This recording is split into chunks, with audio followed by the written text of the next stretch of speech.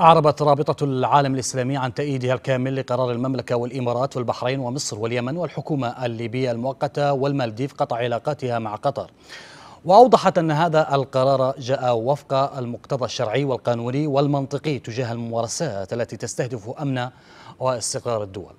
وأشارت الرابطة أن الإجراء الذي اتخذته المملكة والدول الأخرى يهدف إلى إيجاد الضمانات اللازمة لحفظ أمنها واستقرارها ودحر عاديات الشر عنها.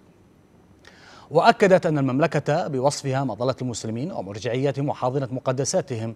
وجهت رسالة للجميع بأن الإسلام بريء من تلك الأفكار المتطرفة ومن كل راع وداعم لها.